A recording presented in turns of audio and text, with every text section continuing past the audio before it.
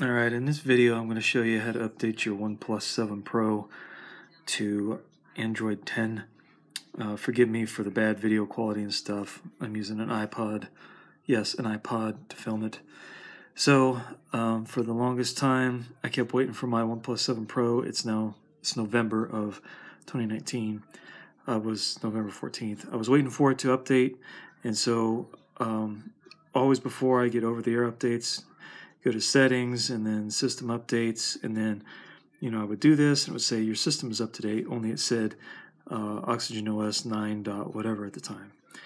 And I was like what the freak? So uh, you know poking around in here I found out if you click on that little settings thing up there there's a thing here that says local upgrade. I'm like huh. So I clicked it and at the time this this was completely empty. So I started doing some research into it to see if I was able to update this manually and uh, you are. You're able to go to, um, of course, I don't have pulled up right now, but you go to OnePlus, the OnePlus website, and you search around on there, and they they have the stable release of um, Android 10 for the OnePlus 7 Pro. So I downloaded it, and then it was in my uh, it was in my downloads folder, and which would be here.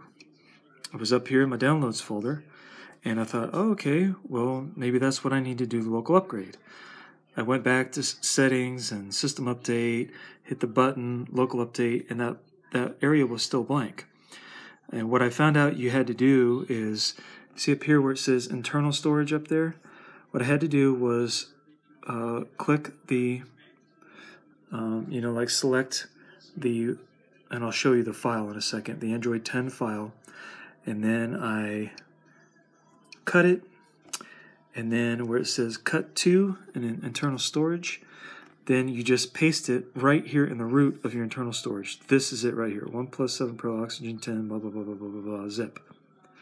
Okay, when you hit when you get it pasted there in internal storage, then when you go back to settings and then system and then system updates, and then it lies to you and says there's no update.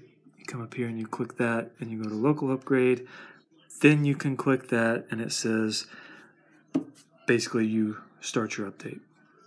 So that's how you do it if you are frustrated with waiting for your carrier or whatever, like I was. Uh, you can do it manually.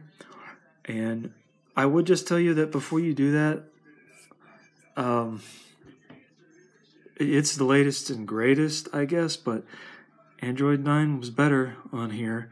The batteries certainly lasted longer and uh, there's some quirks with my notifications uh, when I do it, like when I have emails here, and you pull them down, you can do quick reply or delete or whatever. When I hit the delete, a lot of times they don't go away. Uh, that's just an example. There's other things too, but I honestly can't even really tell any difference in the OSs at all, except for my battery doesn't last as long. Uh, there are probably things, but anyway. So that's how you do it. Good luck.